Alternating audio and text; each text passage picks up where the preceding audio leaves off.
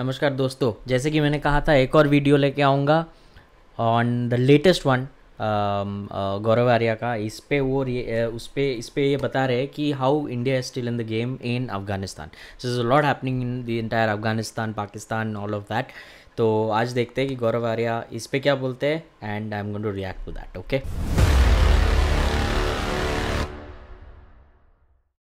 तो आज, जैसे मैंने कहा, इस गौरव आर्या वाले वीडियो पे सेकेंड वीडियो है आज के लिए ये. थर्ड नहीं सॉरी फोर्थ वीडियो है आज का ये तो. I hope you are enjoying watching Avi studio and I hope you are enjoying my reactions and of course all the other educational content that is coming on the channel तो channel uh, को support करते रहना. अब ज़रा हम uh, फटाफट ये video देख लेते हैं. ठीक है ना? वो हाल ही में बयान आया शेख रशीद का लाल हवेली वाले बादशाह। वापस शेख रशीद। पाकिस्तान की तालिबान हमारे बहुत बड़े जिगर के टुकड़े हैं। उनका कहने का ये मतलब था कि यहाँ पे पैदा हुए हैं तालिबान और यहीं पे पले बड़े हैं। कहने की बात है कि they are very close to us very very close to them और हमें और तालिबान में कोई फ़र्क नहीं है और हमारे बड़े क्लोज हैं। अब लोग काफ़ी इसमें कंफ्यूज हो गए कि साहब एक तरफ़ तो पाकिस्तान ये कह रहा है कि साहब हमारा तालिबान से कोई लेना देना नहीं है और दूसरी तरफ़ इनके प्राइम मिनिस्टर इनके इंटीरियर मिनिस्टर जैसे हमारे होम मिनिस्टर होते हैं, वैसे इंटीरियर मिनिस्टर ये ऐसे बयान क्यों दे रहे हैं?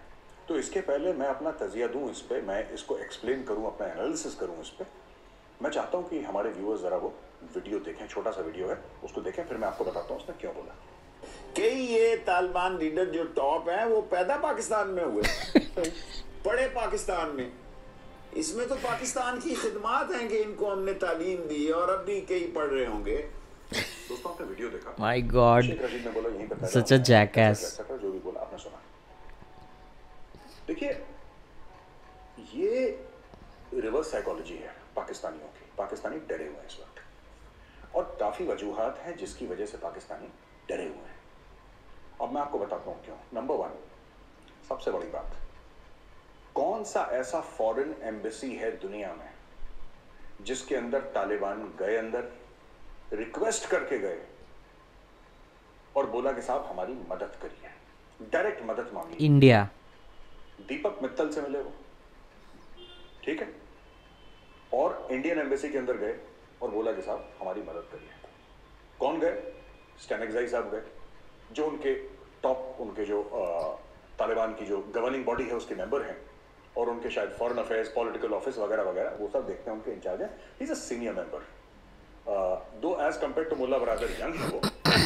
उम्र में छोटे हैं, लेकिन ही वील्ड्स ट्रिमेंडस पार तो वो गया। और पाकिस्तानी पूरे सख्ते में।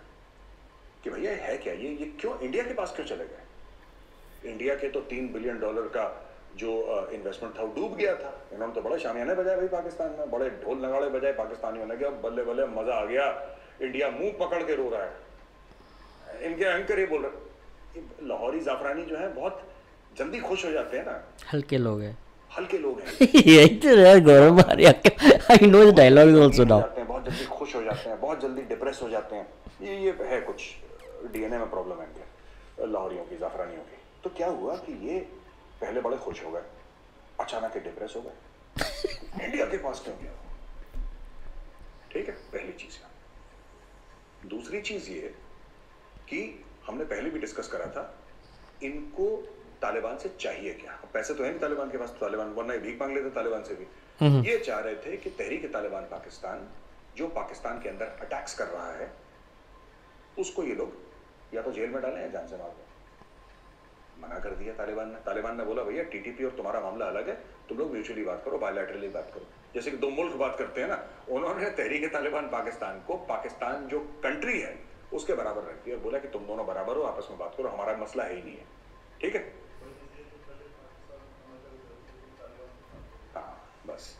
तो वही नसीहत जो पहले पाकिस्तान देता था अमेरिका को। You talk to Taliban Taliban ने भी वही चिपका दिया। यू टॉक टू टीटीपी अब ये लोग अपसेट हो गए क्योंकि भाई बात यही है कि पले बड़े वहाँ पे ये बात क्यों नहीं मान रहे हमारी? इनको तो एहसान मानना चाहिए। पाकिस्तान चाहता है कि तालिबान उनका एहसान माने। जबकि खुद पाकिस्तान अमेरिका का एहसान नहीं मांग रहा, जिसके डॉलरों पर पूरा मुल्क पला है, जब से पैदा हुआ है मुल्क। 14 अगस्त उन्नीस सौ सैंतालीस में अमेरिकन डॉलर्स ने उस मुल्क को पाला है। वरना वहाँ पर तो ढंग की सुई भी नहीं बनती। ठीक है? तो ये दूसरी चीज़ हो गई। तीसरी बात ये हो गई कि हाल ही में बयान आ गया। स्पोक्स पर्सन जो सीनियर मोस्ट स्पोक्स पर्सन है तालिबान का, उसका बयान क्या आया? उसका बयान ये आया है कि साहब he said we do not recognise the Durand line ये फेंस वेंस जो तुमने ड्रामा कर रखा है बॉर्डर का, उसको उखाड़ फेंको। तो उसका मतलब क्या कर रहा इसका बेसिकली मतलब है कि जो जोग्राफिकल हदूद है पाकिस्तान की, जो जोग्राफिकल कॉन्टूर्स हैं, जो उनके बॉर्डर्स हैं पाकिस्तान के, उसको तालिबान मानता है। तालिबान नहीं मानता उसको। तालिबान कहता तुमने फेंस क्यों लगा रखा है भाई? और पाकिस्तान ये अच्छा जो पाकिस्तान ने फेंस लगाया है वो टेक्निकली पाकिस्तान ने अपनी ज़मीन पे लगाया है। उसने अफ़गानिस्तान की ज़मीन पे नहीं लगाया उसने कुछ मीटर अंदर लगाया है अपने। ड्यूरन लाइन की मेरे पास फोटोग्राफ्स पड़े हैं उस पूरे फेंस की। वहाँ पे जो पाकिस्तानियों ने फेंस एक्चुअली लगाया it is not it is this side of the on the Pakistan डर के मारे। लेकिन तालिबान ने मना कर दिया। अब एक बात बताइए हामिद करजाई हो अशरफ गनी हो या फिर मुल्ला बरादर हो? एक बात में तो ये लोग सेम है कि ड्यूरन लाइन को पठान नहीं मानता तो नहीं मानता। और पाकिस्तान के अंदर वाले भी नहीं मानते बाय द वे इनकी रिश्तेदारी है ना, मैं और इनके और इमोशनल कनेक्ट है। एक तो ये बात हो गई। और भी कई ऐसी चीज़ें हो गई जहाँ पे इंडिया के साथ बात करी स्टैनिक्साई ने और इंडिया से ये बोला दीपक पट्टल साहब से जो एम्बेसडर हैं, उनसे ये बोल दिया कि एम्बेसडर साहब, हम चाहते हैं कि इंडिया इन्वेस्टमेंट करे। आयरन ओर जो है, जो लोहे, लोहा है उसको निकाले इंडिया और हम गारंटी करते हैं कि इंडिया को कुछ नहीं होगा। हम चाहते हैं इंडिया इन्वेस्टमेंट करे। अब ये सब पाकिस्तानियों को हजम नहीं हो रहा क्योंकि ये तो बड़े वहाँ पे ना डींगे मार रहे थे। अब तो तालिबान मैंने बोला भी था मैंने एक वीडियो निकाला था जिसमें मैंने वीडियो में बोला था कि ये तालिबान कभी कब्जा नहीं कर पाएँगे काबुल पर Yeah. पूरी तरीके से अफ़गानिस्तान पे पूरा कब्जा नहीं कर पाएँगे। अरे मेजर साहब का तो तजिया गलत हो गया ये हो गया बड़ा यू नो दे आर हल्के लोग हैं। बहुत जल्दी मिठाइयाँ बांटने लगते हैं, फिर दुखी होते हैं तो अपनी टीवियाँ तोड़ देते हैं, मैच हारने के बाद देर लग जाए तो वो वज़न नहीं है। तो अब क्या हुआ कि ये सब होने के बाद दे बिकेम वेरी अपसेट कि तो इंडिया से इन्वेस्टमेंट अरे भाई इंडिया से इन्वेस्टमेंट नहीं मांगेंगे, तुमसे मांगेंगे, तुम्हारे पास तो दो रुपए नहीं है। डॉलर तो छोड़ दो, तुम्हारे पास रुपए नहीं है। You do not have money Pakistanis don't have money to pay their army salaries छह महीने के बाद इनको बाहर से फिर लोन लेना पड़ेगा अपनी फौज की तनख्वाह देने के लिए, इनके पास इतने पैसे नहीं है। They don't have money at all haemorrhage हो रही है इनकी इकोनॉमी लेकिन एंड है चौथी बात यह है कि इमरान खान ने जो बोला था ना एब्सोल्युटली नॉट मर जाएँगे, कट जाएँगे, मौसी। वो नहीं था, शोले वाला। चक्की पीसिंग एंड पीसिंग। उसने सारे डायलॉग मार दिए, सारे घोड़े खोल दिए। शाह महमूद कुरैशी ने भी सारे घोड़े खोल दिए। कि हम कभी नहीं दे सकते हो, हर जगह एब्सोल्युटली नॉट आज की तारीख में as we are recording this video Vaibhav there are thousands upon thousands of US soldiers inside Pakistan ये इस्लामाबाद में भी हैं ये कराची में भी हैं लाहौर में भी हैं एक आता और शहर में ये भरे पड़े हैं वहाँ पे। होटल्स की लॉबीज में आपको अमेरिकन सोल्जर्स दिख रहे हैं। पिछली बार जब हमने रिकॉर्ड करा था ना ये जब हमने पिछली बार बताया तो मैंने कमेंट्स में देखा था नीचे पाकिस्तानी अब मेजर झूठ बोल रहा है। ये झूठ बोल रहा है मेजर इसको कुछ नहीं पता है। ये यहूद हनूद की साजिश है वो ना।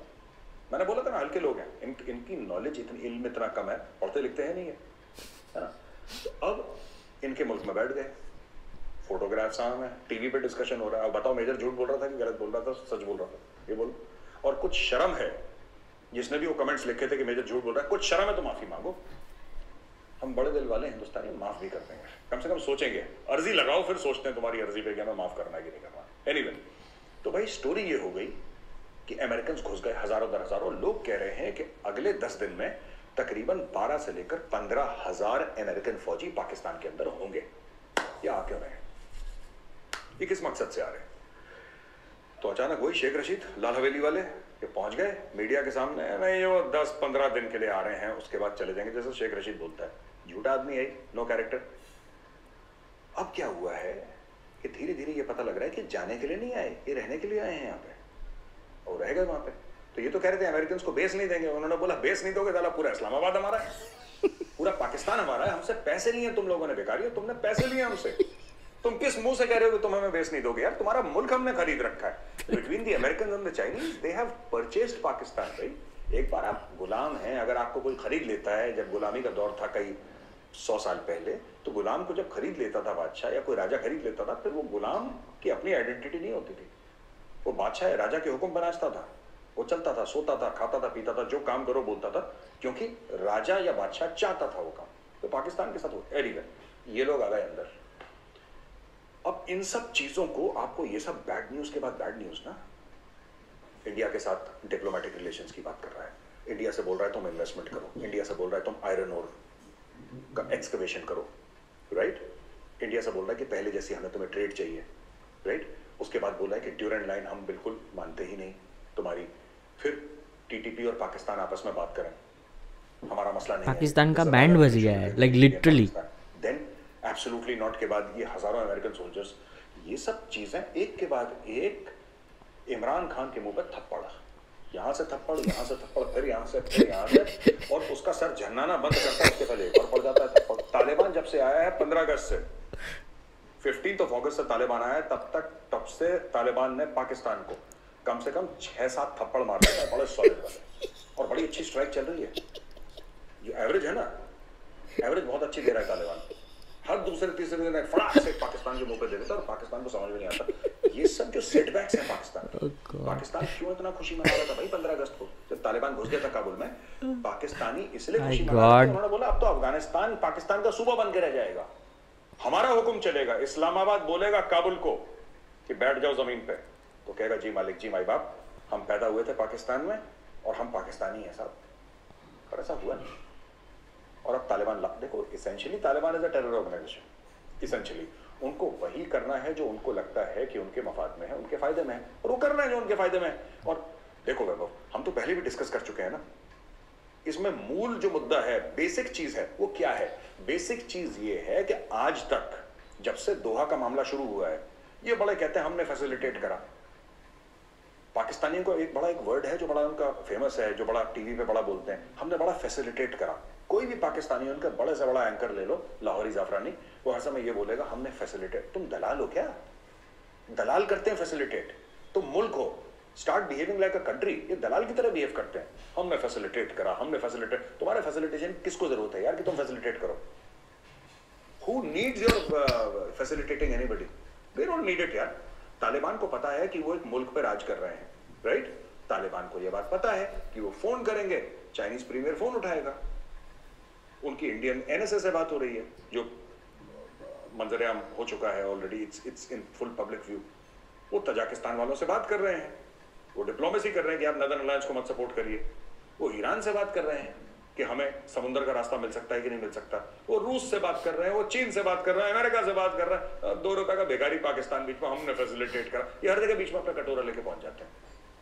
क्या तालिबान ने उनको बोला कि तुम नक्की हो जाओ, भागो यहाँ से।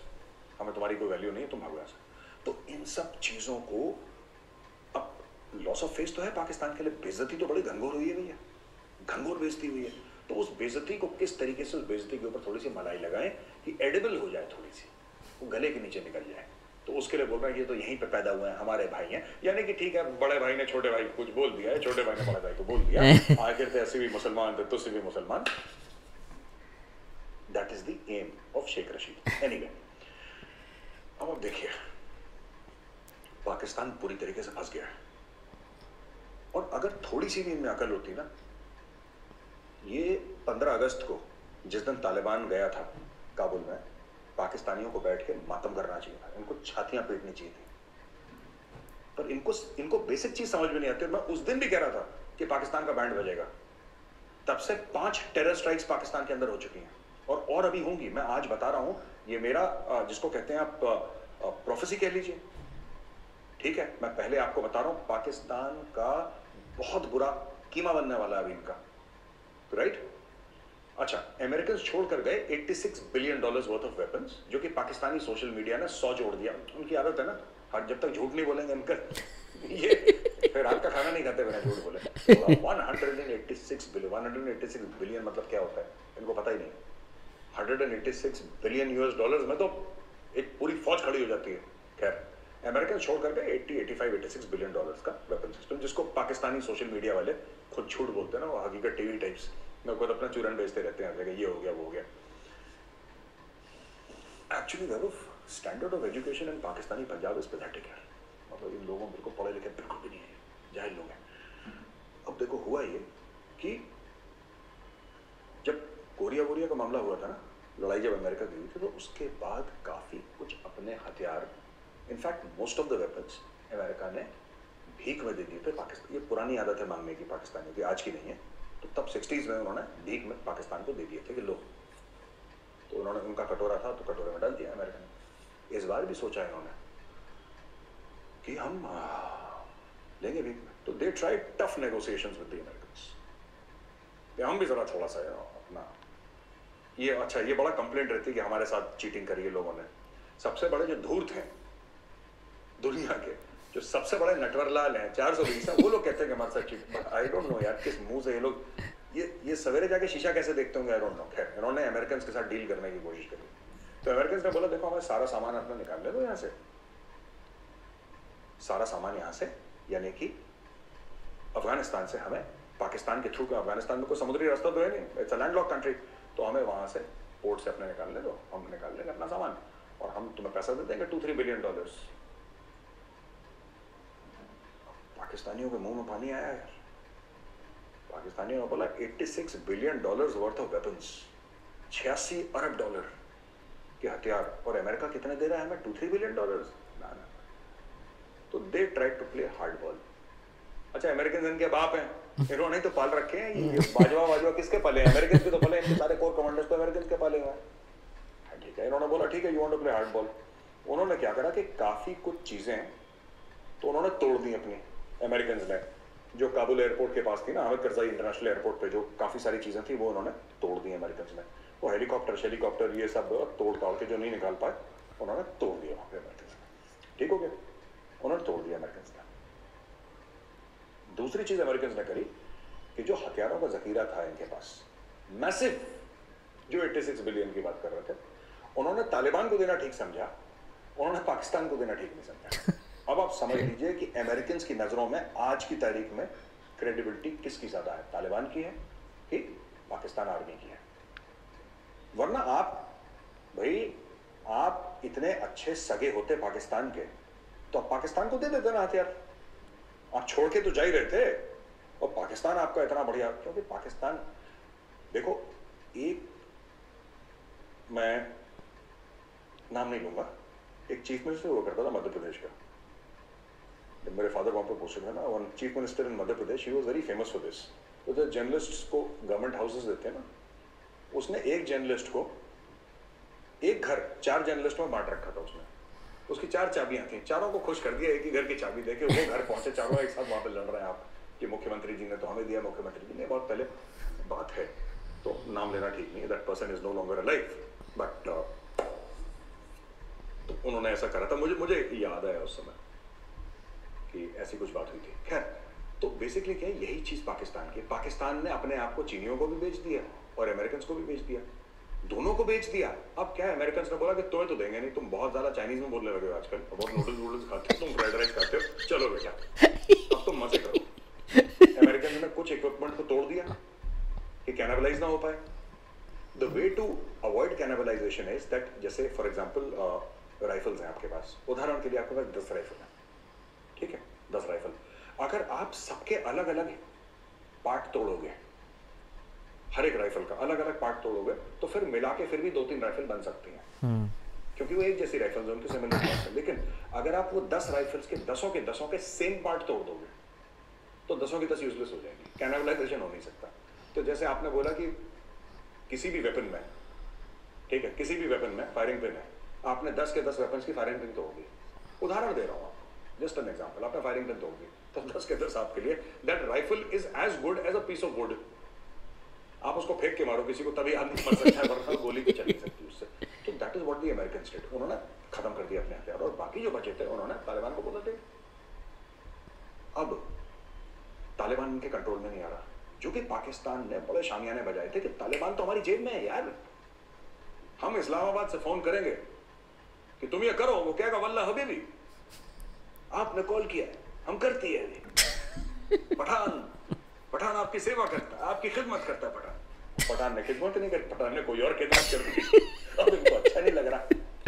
अब इनको बुरा लग रहा है, इसलिए शेख रशीद ये सब ड्रामा कर रहा था पहले पाकिस्तान ने बोला था कि हमारा जो फेंस है ना, वो इतना मज़बूत है, हम एक अफगान को अंदर नहीं आने देंगे। लेफ्टिनेंट जनरल ट्रेड अमजद शोएब जो पाकिस्तानी टीवी की शान है, और बड़ा पाकिस्तानी, हर चैनल पे वो बैठते हैं और पाकिस्तानी आर्मी का या स्ट्रेटेजिक अफेयर्स में बोलते हैं अच्छा बोलते हैं अमजद शोएब साहब। अमजद शोब साहब ने बोला कि नहीं साहब, ये तो आ ही नहीं सकते। आज की तारीख में डेढ़ लाख से ज़्यादा अफगान सिर्फ़ कराची के अंदर है। सिर्फ़ कराची के अंदर डेढ़ लाख से ज़्यादा है। मैं खैबर पख्तूनखो की बात नहीं कर रहा, खासतौर से पेशावर। में क्वेटा की बात नहीं कर रहा। मैं इनकी बात नहीं मैं सिर्फ़ कराची की बात कर रहा हूँ क्योंकि सबसे ज़्यादा पश्तून पॉपुलेशन है ही कराची में। पूरे पाकिस्तान में अगर कहीं पे पश्तून है तो सबसे ज़्यादा है कराची के अंदर। वो सब पहुँच गए वहाँ पे। रोक लो इनको। आज भी पाकिस्तानी मीडिया झूठ बोल रहा है कि नहीं कुछ आ गए हैं छियासी आ गए हैं पचास आ गए हमें सब पता है। कितने आ गए कहाँ पे आ गए? We have all the intelligence we have all the information ठीक है और जल्दी इनका भांडा फूट जाएगा। इनका तो भांडा फोड़ते ही रहते हैं। हम इमीडिएटली भांडा क्यों नहीं फोड़ते वैभव? क्योंकि फिर अगले एपिसोड का मसाला खत्म हो जाए। किस्तों में दलील करो? किसी को एक साथ दलील कर दो तो फिर मज़ा नहीं आता। द गेम इज़ ओवर खैर एनीवे तो क्या हुआ कि अब पश्तून और साफ़ तौर पे बोल चुका है तालिबान की ये जो ज़मीन है खैबर पख्तूनख्वा की ये भी पश्तूनों की है। इसलिए तो ड्यूरो नाइन और भी कर रहा हूँ कह रहा फेंस वेंस उखाड़ो यार। क्या वीज़ा वीज़ा सब छोड़ो ये सब कोई वीज़ा नहीं है। जाने दो उनको पाकिस्तान के अंदर। अब वो जाएँगे। और पाकिस्तान के अंदर सिर्फ़ महाजरीन नहीं जाएँगे। सिर्फ़ वो लोग नहीं जाएँगे जो कि इमिग्रेंट्स हैं अलकायदा वाले जाएँगे इस्लामिक स्टेट खोरासान वाले जाएँगे तहरीक तालिबान पाकिस्तान इन सब के माथे पे लिखा है यहाँ पे। माई नेम इज़ फलाना फलाना, Abdul Khan I am from Tehreek Taliban Pakistan नहीं, वो अपना हथियार अगर किसी और को दे दे तो he is like any other Pashtun वो घुस जाएगा अंदर। हथियार वो पाकिस्तान के अंदर पकड़ लेगा। पाकिस्तान के अंदर तो हथियार ऐसे मिलते हैं गाजर मूली जैसे। है ना? ये कहता है ना, असला जो है मुसलमान का जेवर है, उसी जेवर से गले घोटेंगे इनके। अभी देख लेना। तो ये सब जो बातें हो रही हैं वहाँ पर वेरी वेरी डेंजरस तो जो भी हमारे पाकिस्तानी भाई बहन बड़े शामियाने बजा रहे हैं, लुड़ियाँ डाल रहे हैं, भंगड़े। अरे, तालिबान आ गया, तालिबान आ गया। मैं आपको ये बात बता रहा हूँ, आज भी ये पंद्रह अगस्त से पहले भी मैं ये कह रहा था। आप रिकॉर्ड पर जाके देखिए, सबसे ज़्यादा अगर नुकसान है तालिबान से किसी को तो पाकिस्तान को है। आपके शहर जो पिछले इतने सालों से महफूज थे, अब वो दिन खत्म हो गए, अब आप देखिएगा। और मैं ज़्यादा लंबी बात नहीं कर रहा, वैभव, मैं बात कर रहा हूँ दो, तीन, चार, पाँच, छह हफ़्ते की।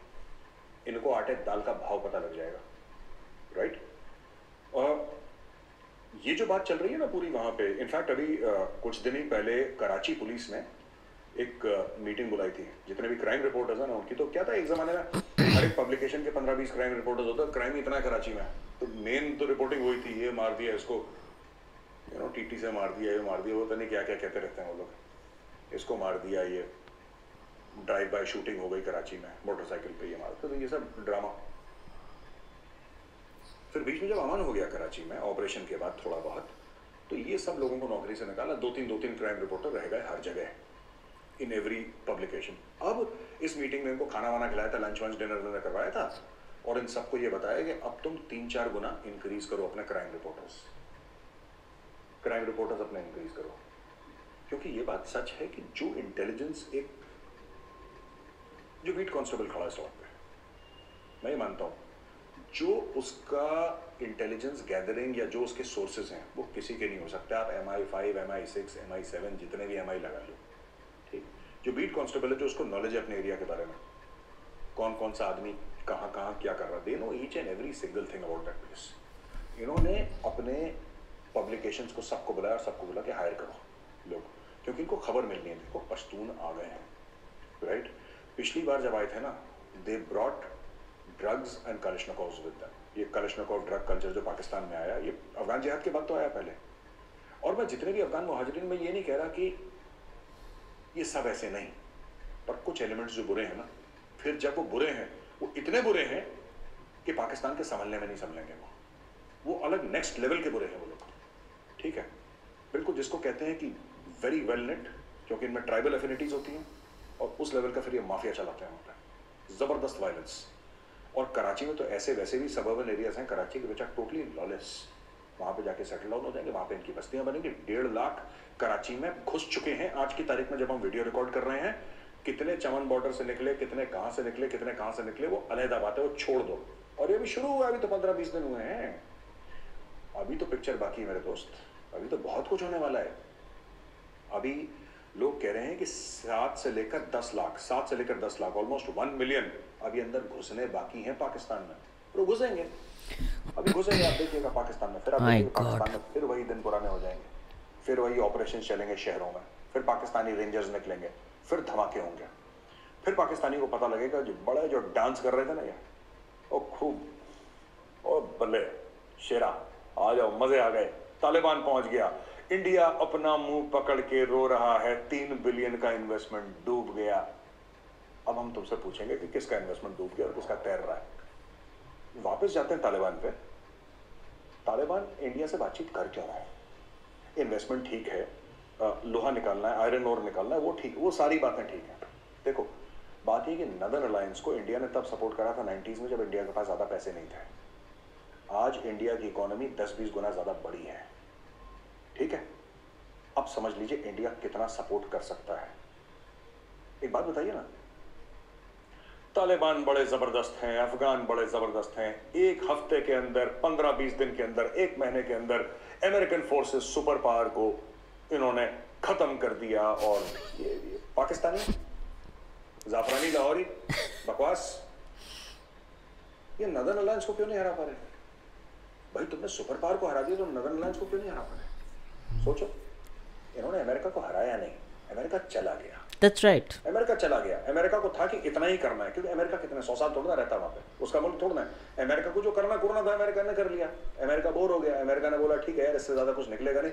एक समय पे जब आप गन्ने से जूस निकालते हो आपने देखा दो तीन चार पाँच बार वो गन्ने वाला भी डालता है फोल्ड करके उसको गन्ने की मशीन में जूस खत्म हो जाता है उसको डस्टबिन में डाल देता है नया गन्ना ले लेता है अमेरिका ने भी यही करा। उन्होंने बोला अब इससे जूस नहीं निकलने वाला। वो गए। They gone whatever they had in mind and जो लोग कहते हैं ना, अमेरिका हार गया, अमेरिका हारा नहीं। अमेरिका सुपर पावर ऐसे नहीं बना कि लोग समझते बेवकूफ़ है। नहीं, अमेरिका ऐसी सेंध लगा के गया है, उस एरिया में ऐसी सेंध लगा के गया है। Vaibhav it's a small thing which I am gonna tell you very small thing but it is among the hundreds of things that America is done अब आपको पता लगेगा, आज की तारीख में आप तारीख नोट कर लीजिएगा, ऐसे कई घर हैं जिनकी बेसमेंट है अफ़गानिस्तान में, जिसके अंदर हथियार और जिसके अंदर डॉलर्स भरे हुए हैं। प्लास्टिक की मोटी मोटी पन्नियों में। Dollars millions of dollars ten million fifteen fifty hundred million dollars और हथियार एमुनेशन सब है वहाँ पे, ठीक है? अब इसके एड्रेस किसी को नहीं पता। किसी को कुछ नहीं पता उस घर के बेसमेंट पे, क्या ऊपर फैमिली रह रही है? फैमिली को पैसा दे रखा है फैमिली चुप बैठी है राइट जिस दिन अमेरिका को एक आतंकवादी संगठन अफ़गानिस्तान के अंदर खड़ा करना पड़ा, ठीक है? हज़ार फाइटर्स का, और पैसे वैसे देने पड़े। अमेरिका ने कुछ नहीं करना, अमेरिका से एक व्हाट्सएप मैसेज जाएगा उस बंदे को जो कि अमेरिका के लिए एक नई टेररिस्ट तंजीम खड़ी कर रहा है। उसको वो लोग कुछ नहीं बोलेंगे बोलेंगे, ये घर है, ये एड्रेस है, इसकी बेसमेंट में चले जाओ। बड़ा सा घर है बेसमेंट में जाएँगे, खोदेंगे, ज़मीन से निकालेंगे, पचास मिलियन डॉलर्स और निकालेंगे हज़ार ए के फोर्टी सेवन या हज़ार एम फोर्स रॉकेट लॉन्चर्स सब कुछ वहाँ पे। उनमें ग्रीस पहुँचा। वेपन्स वेपन्स फायर करने के लिए तैयार। अचानक रातों रात 24 घंटे के अंदर एक आतंकवादी तंजीम खड़ी हो गई। अमेरिका ने ऐसे कई घरों में ऐसा कर रखा है, जितनी मेरी खबर जाती है। अमेरिका ने जगह जगह पहाड़ों में, इधर, उधर, घरों में, नीचे, इधर, हर जगह उन्होंने पैसे का ऐसा वो इंतज़ाम कर रखा है। एक छोटा सा वीडियो है, मैं चाहता हूँ कि हमारे दोस्त देखें किस तरीके से अमेरिका ने पैसे छोड़े तब आपको पता लगेगा कि हथियार और पैसे कैसे कैसे अमेरिका ने छोड़े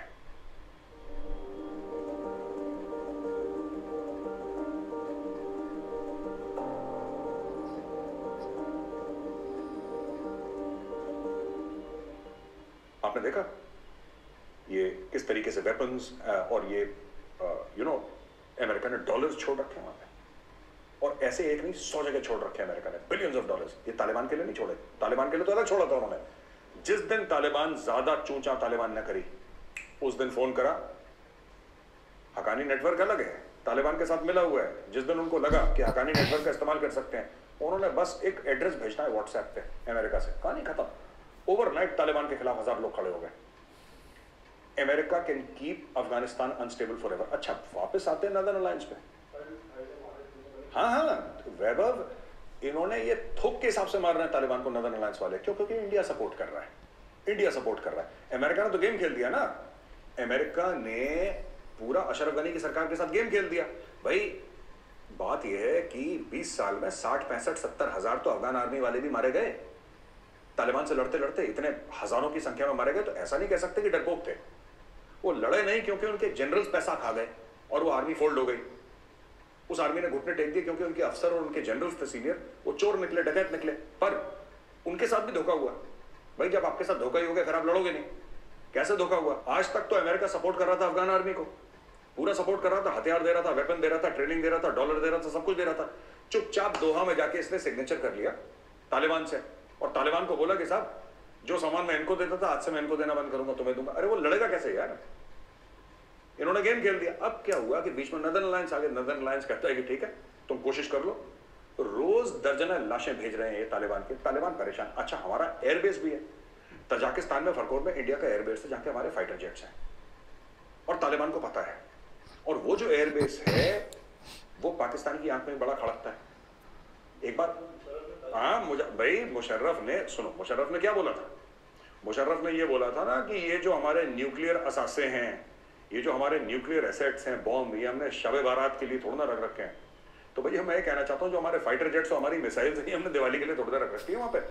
जिस दिन हमें पता लगेगा कि हमें क्या करना है जिस दिन क्लियर हो जाएगा if tomorrow India decides support the Northern Alliance and give them closer support or air support of any kind, even till the level they have no air defense cover in Kabul. Yeah, Indian Air Force planes can take off from Tajikistan and bomb the living bloody daylights out of Kabul. इनको पता नहीं लगना तालिबान को क्या हुआ। उनके पास है थोड़ा ना कुछ वहाँ पे। वो देखते रहते ऐसी हवा में। ये वल्ला हबीबी कहाँ से आया है बड़ा सा चिड़िया? उड़ते हुए। वहाँ पर पता नहीं सुकोई ने ठोक दिया वहाँ पे। तो India has got unlimited resources in Tajikistan भाई इंडिया तब सपोर्ट कर रही थी जब इंडिया के पास कुछ नहीं था। तो इसलिए भी तालिबान चाहता है कि इंडिया को अगर इंडिया सपोर्ट करना बंद कर दे नॉर्दर्न अलायंस को तो तालिबान की जीत मुमकिन हो जाएगी। मैं ये नहीं कह रहा जीत जाएँगे, मैं ये नहीं कह रहा। लेकिन उनकी जीत मुमकिन हो जाएगी, अभी नामुमकिन सी लग रही है। तो ये लोग चाहते हैं किसी तरह इंडिया का भी मामला बना रहे। अभी ना तालिबान लैंडलॉक्ड है एंड यस ट्रेड पे पाकिस्तान पे काफ़ी हद तक डिपेंडेंट भी है। तो तालिबान ने फिर पाकिस्तान से एक रिक्वेस्ट करी कि भाई ऐसा है कि आप एक काम करिए, हम आपसे गंदम बंदूम खरीदेंगे, जो भी वीट गेहूँ, शेहूँ, जो भी खाने पीने की चीज़ें हम आपसे लेंगे, आप हमसे पैसे रुपीज़ में ले लेना डॉलर में मत लेना। पाकिस्तान शौक हो गया, क्योंकि पहली बार पाकिस्तान अच्छा देखिए, खुददारी तो है, देखो, पठानों में।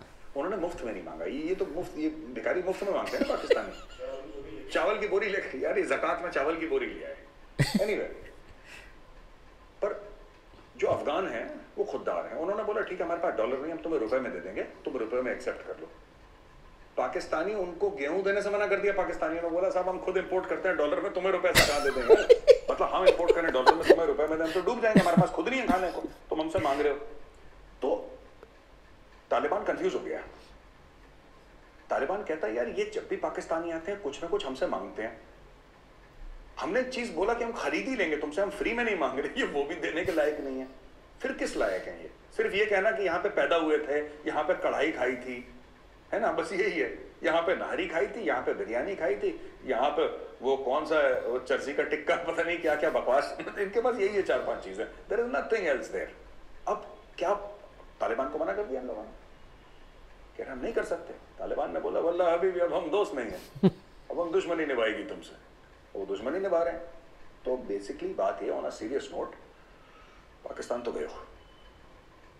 अब नहीं बचते ये लोग। ठीक है? ये अब आखिरी एक दो हफ़्ते हैं ये अपनी और खुशियाँ मना लें, मिठाइयाँ बांट लें, इनका बैंड बजने वाला है, बहुत बड़े वाला है, hundred percent. My god oh my god Pakistan in a mess ये तो होना ही था ये तो मैं पहल, पहला जब जब when when United States announce that you know they be withdrawing from Afghanistan उस वक्त ही मैंने बोला था that it's it's I had made a video also शायद आप लोगों ने देखा होगा, नहीं देखा होगा, उस पर मैंने बनाया था how U S betrays Afghanistan I think it's lot of instability there and जैसे मेजर गौरव ने कहा U S can keep Afghanistan unstable forever and I hope they don't do that but I won't be surprised if they do and as far as Pakistan is concern देखो मैं हमेशा बोलता हूँ पाकिस्तान के बारे में बात करके क्यों उनको फुटेज देने का, क्यों उनको इम्पोर्टेंस देने का? They are not worth it या सो मे बी अगर वो उछलना कूदना बंद कर दे भी, हर हर हर चीज़ के बीच में तो maybe their life will become little easier and maybe their country will become more stable but anyways I think ये एक और uh, अच्छा वीडियो था by major Gaurav Arya I I like reacting to his videos maybe अगले हफ़्ते वापस वो कोई नया वीडियो लेके आएँगे तो ज़रूर I will definitely go head and react to that and definitely the discussion point at this time is Afghanistan and and because of Afghanistan U S and Pakistan and because of Pakistan China and all of those things so let's see what happens in future and like i always say again you know may peace prevail in uh, afghanistan and uh, you know may uh, the women and children of that country stay safe um, अगले हफ्ते मतलब कल से for the next six days we are going to have some really fun reaction videos हर रोज़ एक बहुत मज़ेदार है something very unique and different जो we discovered on YouTube I think it was really hilarious when we are watching it of course for the most part they were nice and a lot of talent in whatever we are going to react to but uh, some parts of it were quite hilarious and you know you, it's like a it's like a lot of fun so I uh, hope आप देखेंगे वो uh, कल से वो आएगा um, हर रोज़ starting tomorrow Monday till Saturday okay तो finally आज का आज की वीडियो के का जो सिलसिला था ये आज अब इस वक्त ख़त्म होता है uh, आपको अगर वीडियोस पसंद आ रहे हैं तो लाइक और शेयर ज़रूर करना। Please subscribe to my channel और I'll come back the next time that's all for today thank you so much for watching Peace.